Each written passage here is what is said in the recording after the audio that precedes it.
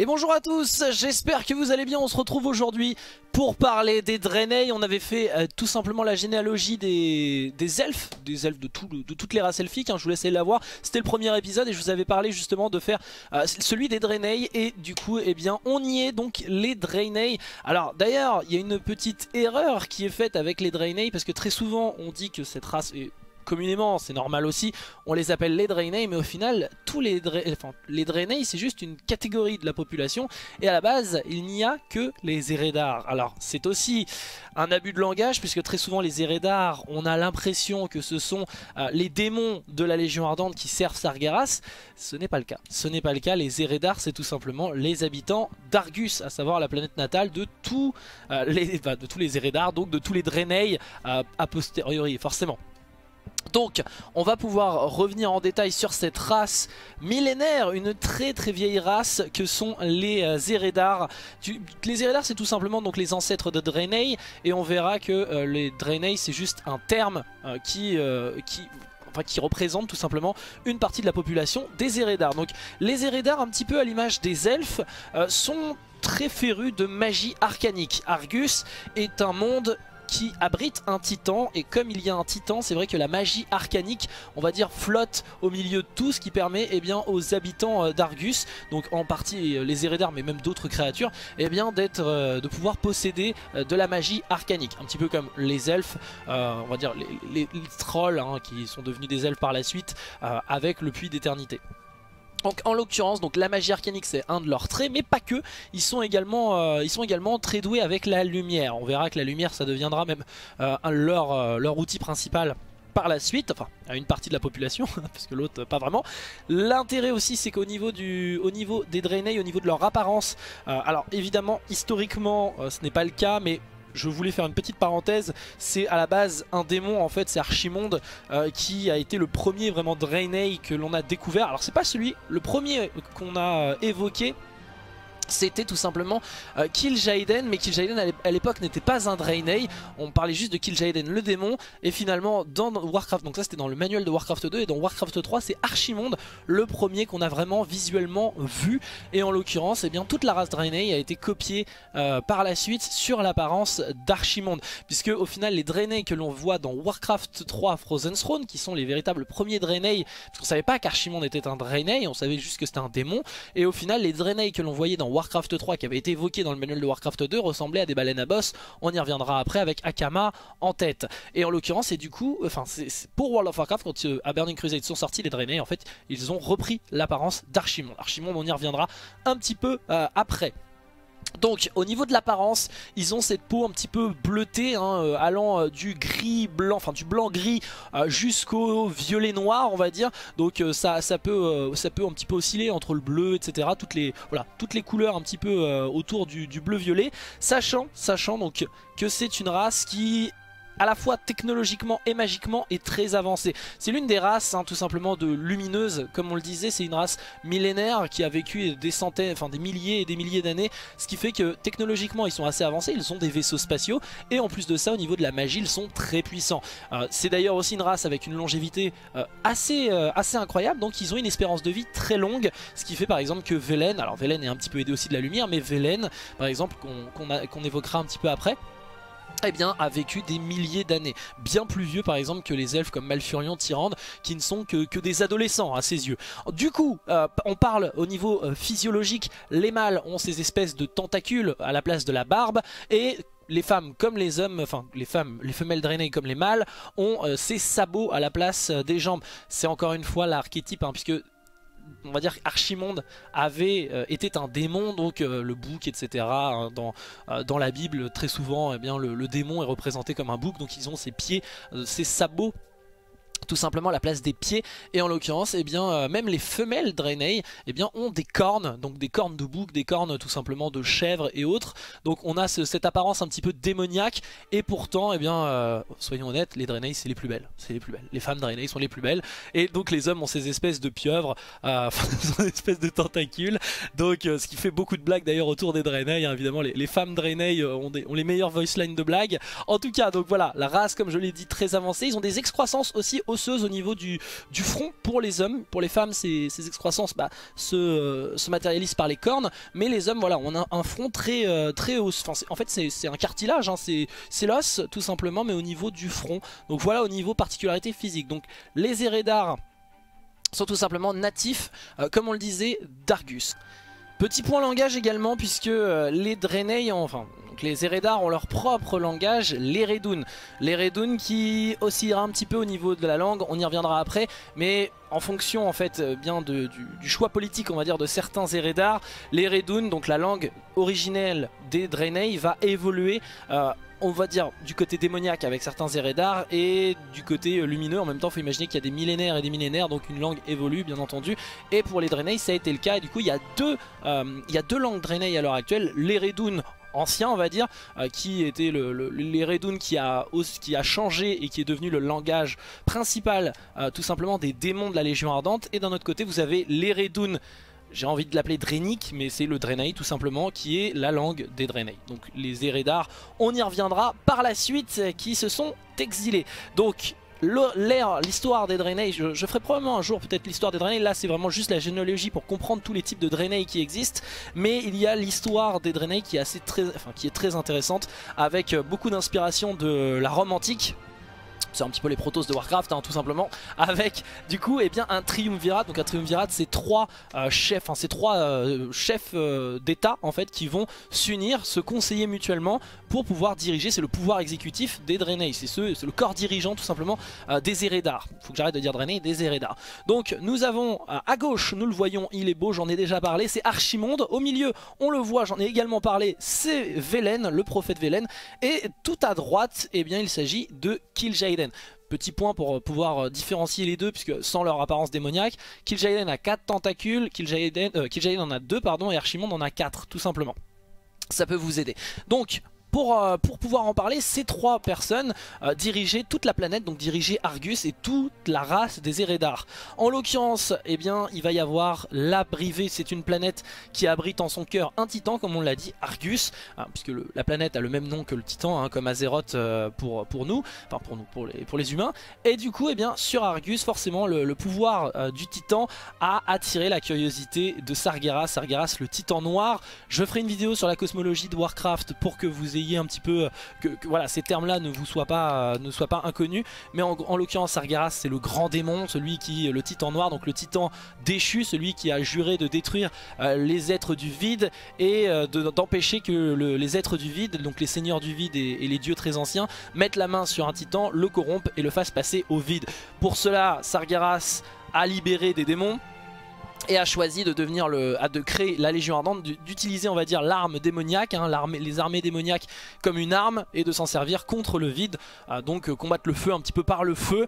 Et il va aller voir les Draenei en se présentant, alors là on voit Sargeras, toute cette euh, comparaison je dirais avec Sauron dans le Seigneur des Anneaux puisqu'ils vont, enfin il va se présenter comme un être de lumière auprès d'une race très très vieille, euh, quasi immortelle, qui adore la lumière, qui est très avancée technologiquement, hein, Sauron, le deuxième âge, les anneaux, tout ça. Et il va voir du coup eh bien, le triumvirat, il se présente comme un être de lumière, euh, il leur euh, vante les pouvoirs qu'il peut leur procurer s'ils le rejoignent dans sa croisade de lumière. Et au final, eh bien, euh, Archimonde et Kil'jaeden vont euh, succomber à la tentation, ils vont rejoindre l'île, euh, pardon, ils vont succomber à la, tentation et ils vont tout simplement eh bien, rejoindre Sargeras dans sa quête contre le vide. seul Velen refusera ça en, en, ayant justement eu un avertissement des Naru, on y reviendra, les Naru c'est tout simplement les arbitres Pokémon, non pas du tout, c'est tout simplement ces êtres géométriques fait totalement de lumière et qui euh, justement eh bien conseille euh, Velen, Velen qui est avant tout comme je le disais le prophète, hein, c'est-à-dire qu'il a c'est un archiprêtre on va dire de lumière.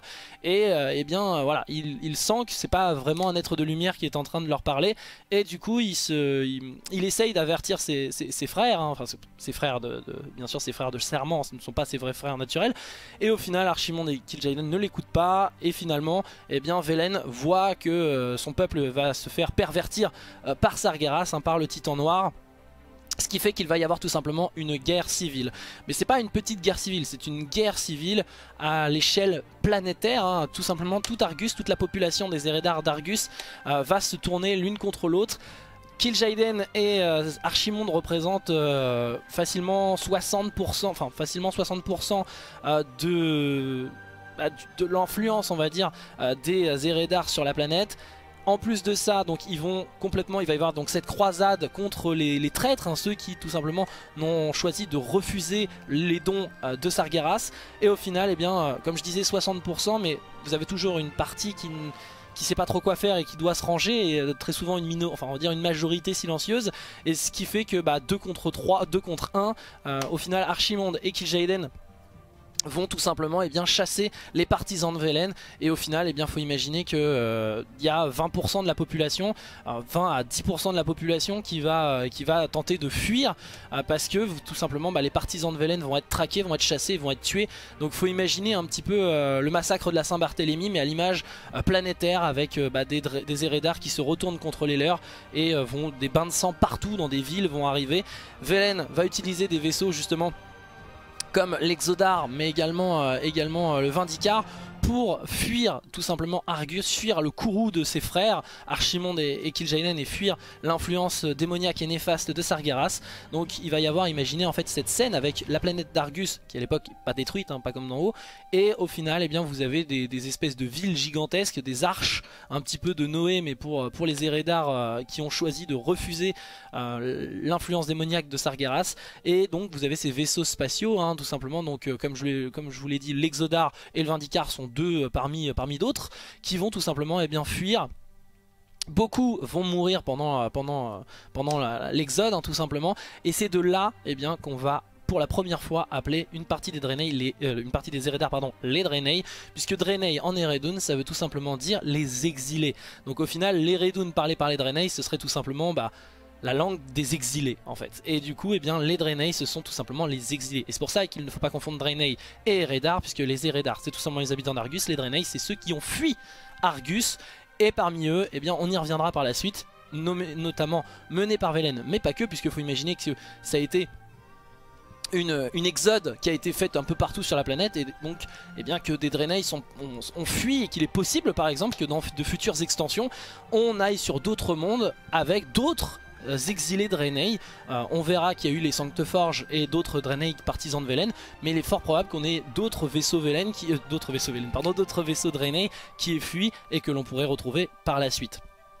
Donc nous avons tout simplement comme je l'ai montré les Eredar avec donc les Draenei qui vont tout simplement donc on va, on va parler donc les, les Draenei on y reviendra juste après les Manari alors les Manari Qu'est-ce que c'est les Manari En fait tout simplement les Manari c'est 80-90% de la population des Eredar ayant choisi de, suivre Archimonde et Kil'jaeden au sein de la Légion Ardente. Ils vont devenir tout simplement, donc c'est maintenant grossièrement ce qu'on dit, on, les appelle les Eredar, mais c'est pas faux. Les Eredar, euh, alors j'ai bien compris, mais les, les c'est tout simplement 90%, euh, enfin, 90% des Eredar vont devenir les Manari. Donc les Eredar, dire que ce, sont, enfin, dire que les Manari sont des Eredar, oui c'est vrai, mais les Draenei sont aussi des Eredar. C'est juste que communément on les appelle les Eredar euh, pour les démons. Mais au final ce sont les Manari. Le vrai terme c'est Manari. Manari c'est tout simplement en Eredun.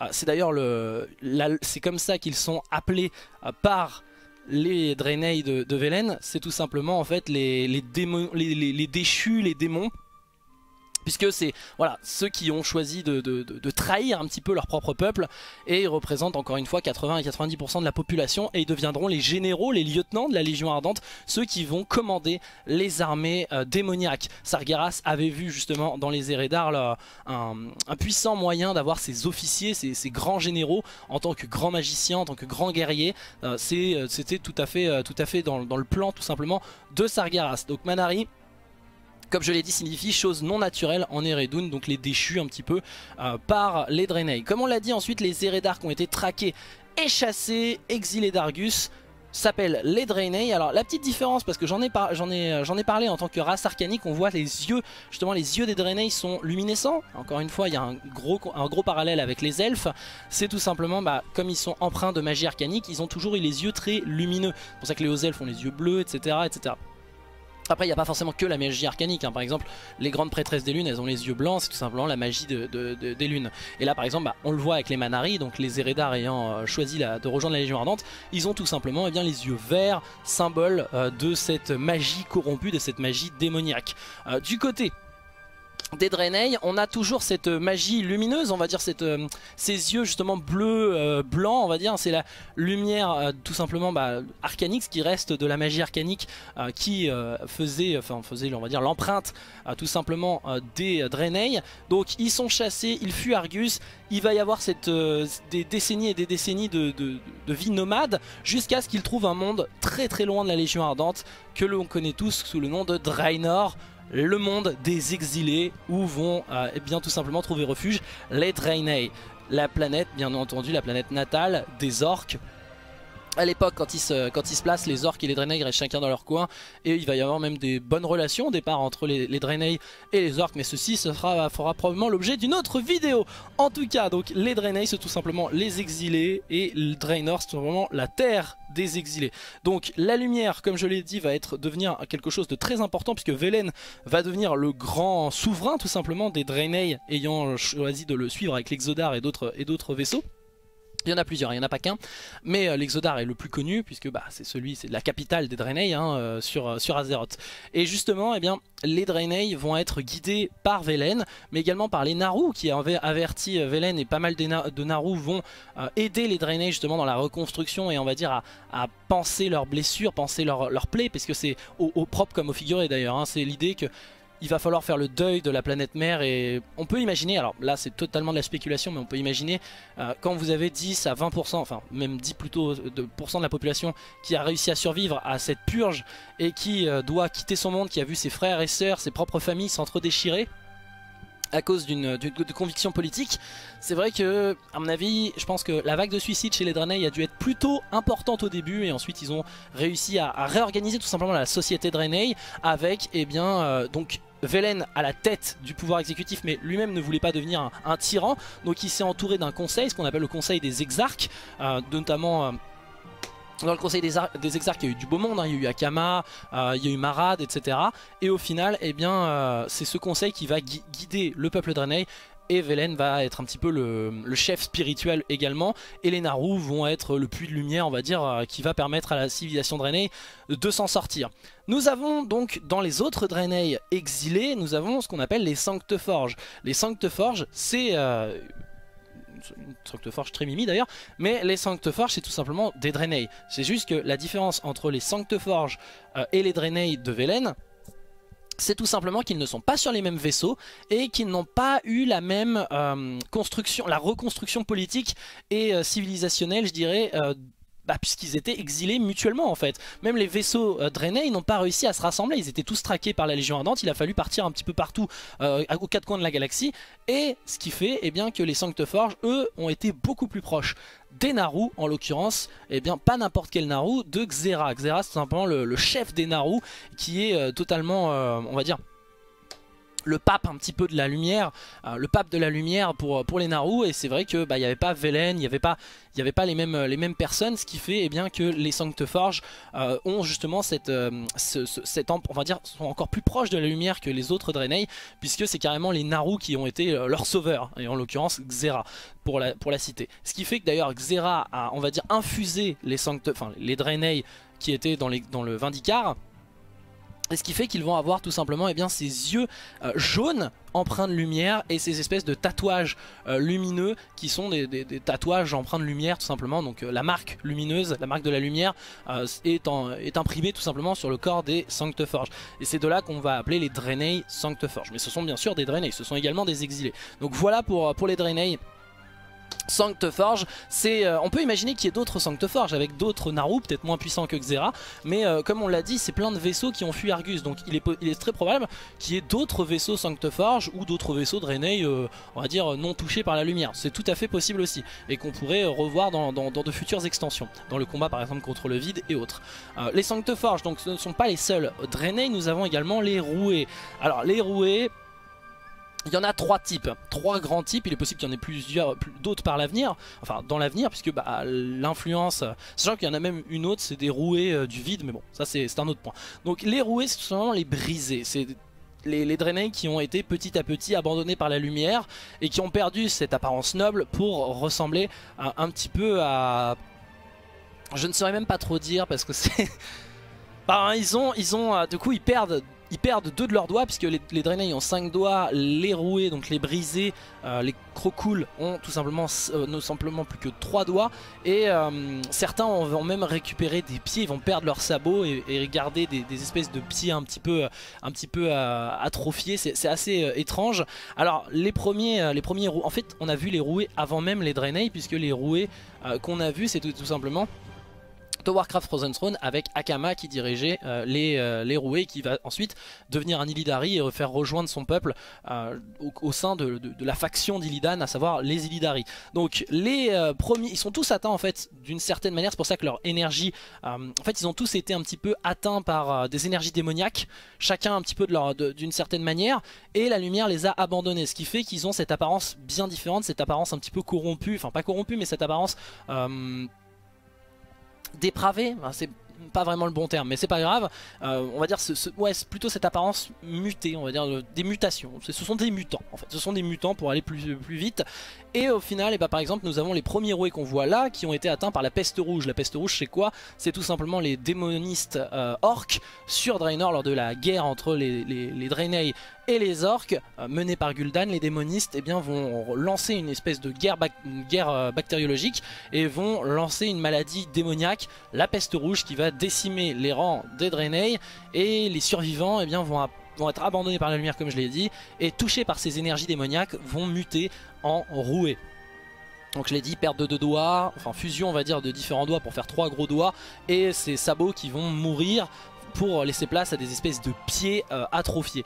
On a également donc euh, ils sont, euh, nous avons également par la suite en dehors des roués, nous avons également les brisés. Alors les, enfin les perdus brisés, c'est tout simplement ceux qui ont une espèce de tête de baleine à bosse avec des fanons à la place de la bouche. Akama d'ailleurs avait cette apparence au départ finalement ils ont euh, un petit peu euh, rétroactivement ils ont changé ça, hein. ils nous ont fait un petit redcon euh, pour lui redonner une apparence de roué plutôt que de perdu. Les perdus c'est tout simplement des roués qui ont été qui sont passés un peu plus à l'état sauvage. Alors il y a quand même certains perdus qui ont gardé leur faculté mentale mais la plupart sont devenus des bêtes sauvages mais au final pas tant que ça, certains sont encore doués de, conscience, c'est un peu, un, peu, un peu flou. Ça pourrait être d'ailleurs quelque chose de très intéressant avec une éventuelle race alliée rouée où on aurait un petit peu les deux apparences, les deux, les deux civilisations qui pourraient euh, en former plus qu'une, hein, j'ai envie de dire avec un Nakama. En tant que chef ça pourrait être super sympa. J'espère que euh, l'idée sera, retenue euh, pour les races alliées parce que c'est quand même une race assez intéressante les roués. Et au final eh bien voilà. Ils ont été abandonnés par la lumière. Et les perdus il faut imaginer une décadence encore plus grande des roués qui en a fait. Alors par contre ils ont des facultés parce qu'on pourrait imaginer les mutations la perte etc ça fait qu'ils qu sont plus très puissants et qu'on a des espèces de vieux gollum. Non c'est pas le cas. Ils ont développé de nouvelles facultés. Là où les Draenei sont très puissants sont très très massif, avec une grosse ossature, on va dire les, les tanks, les paladins, euh, sont faits pour être paladins les Draenei, les, euh, les roués eux ont développé notamment euh, avec Nobundo une affinité avec euh, les esprits élémentaires et, ont formé un petit peu les chamans. Mais ce sont également de très bons trackers, ce sont euh, d'excellents chasseurs et notamment eh Akama ainsi que d'autres perdus et d'autres roués ont réussi à même tellement être bons là-dedans que ça en fait des assassins hors pair et qui arrivent à pouvoir jouer sur l'invisibilité. Donc on voit un peu le côté part d'ombre on va dire de ces, Draenei. Et enfin nous avons les Crocouls, les Crocouls c'est tout simplement eh bien, les exilés dans, la population de, Draenei qui a choisi sur Argus de euh, refuser euh, la voie euh, offerte par Sargeras avec Kil'jaeden et Archimonde à leur tête, eh bien toute la partie de la population, je vous avais parlé de, populations qui ont essayé de migrer à travers ces, espèces de d'arches immenses, les vaisseaux spatiaux pour fuir Argus. Certains n'ont pas eu le luxe de pouvoir rejoindre ces arches et sont restés sur Argus et ont formé, on va dire, le front arguséen, donc le front de résistance et nous avons eh bien, tout simplement les crocouls. Donc ils ont la même apparence que les roués mais avec une petite, euh, des petites oscillations, des petites différences. Certains crocouls ont même complètement perdu, perdu foi. Il hein. faut imaginer que beaucoup se suicident, que ce soit dans les crocoules mais les roués aussi. Hein. Certains se suicident d'avoir été perdus, enfin que la lumière les ait abandonnés hautes. C'est déjà très délicat pour eux, ils mènent une vie, ils, sont rejetés par leurs frères. Les roués par exemple ont été même rejetés par les, nobles Draenei. Velen essaye de travailler ça mais ça reste quand même en place. Euh, il y a une ségrégation des roués. Euh, les perdus, bon, c'est encore pire. Et euh, au final les crocoules, eux, sont carrément chassés et traqués par les Eredar de la, Légion, les Manari. Donc c'est vrai que c'est compliqué pour les crocoules. Et hum, les crocoules, bah, avec Argus, hein, avec l'extension de, World of Warcraft Légion, vont être retrouvés par Velen. Il va y avoir une nouvelle alliance. Avec, D'ailleurs ça n'a pas été suffisamment je trouve il n'y a, pas de véritable chef charismatique chez les Crocoules, mais dommage, hein, Kakama ait été si maltraité dans Burning Crusade, mais. Euh, ça aurait pu être très intéressant parce qu'il y avait cette, euh, part de responsabilité qu'a Velen où il a dû abandonner une partie de son peuple et, les Crocoules lui en voulaient et finalement bon il va quand même y avoir une alliance mais c'est dommage que ça n'a pas été un peu plus développé. Encore une fois Velen euh, a une histoire assez dramatique. Donc voilà pour ce qui est des Draenei, je voulais pas faire une vidéo trop longue il n'y a pas non plus euh, des, milliers de, milliers de variantes. Euh, concernant les Manari, j'ai pas voulu rentrer trop dans le détail, mais nous avons les gardes Kourou. Pour ceux qui ne le savent pas, ce sont des Draenei, mais des Draenei, euh, on va dire un peu plus gardes généraux. Enfin, c'est pas des généraux, mais plus voilà des, lieutenants, des, des officiers de la simple armée. Alors que la plupart des Eredar Manari que l'on voit, ce sont souvent des lanceurs de sorts, des véritables officiers. Donc on va dire que les gardes Kourou, c'est des sous-officiers, tout simplement, dans l'armée de la Légion Ardente. Nous avons Également donc les crocoules du vide qui ont choisi eh bien, de rejoindre l'énergie du vide et des dieux très anciens, euh, des seigneurs du vide plutôt, pour euh, pouvoir essayer de, de, trouver on va dire une libération à leur souffrance. Généralement, c'est, on va dire, tu paries sur le mauvais cheval. Donc voilà pour ce qui est des Draenei. J'espère d'ailleurs que euh, les roues et les crocoules euh, seront une race alliée par l'avenir, euh, enfin à l'avenir, ce serait vraiment super cool. avec potentiellement bah, la possibilité de faire un roué, un crocoule ou un perdu, ce serait vraiment cool. ça sera peut-être un peu dur, mais j'espère que Blizzard le fera parce qu'ils ont une histoire très intéressante et un petit peu, ce serait cool aussi de sauver Akama de ce néant, on va dire, scénaristique. Ça pourrait être très intéressant.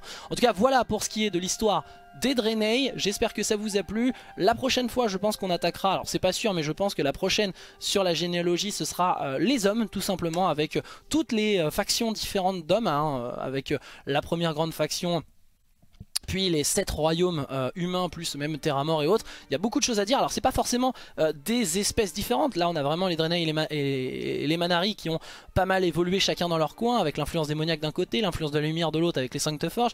Là, euh, enfin, on a, on a des évolutions, on a quasiment deux sous-espèces alors, enfin même plus que deux sous-espèces, les humains ce sera pas vraiment le même cas, mais c'est pour bien comprendre la géopolitique, les mœurs euh, et on va dire les cultures différentes et bien comprendre les différents royaumes. Donc voilà, j'espère que ça vous a plu, n'hésitez pas à me donner vos, impressions dans les commentaires, n'hésitez pas à liker la vidéo, n'hésitez pas à euh, tout simplement eh bien, partager autour de vous pour ceux qui aimeraient en savoir plus sur les Draenei. Je vous invite à regarder toutes les autres vidéos d'histoire d'un héros, que ce soit sur Warcraft mais également sur les autres univers de Blizzard qui sont quand même très intéressants aussi. Donc voilà, j'espère que ça vous a plu encore une fois, je vous fais plein de bisous, à bientôt pour une prochaine vidéo, à plus dans le.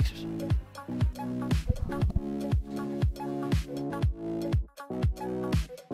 you.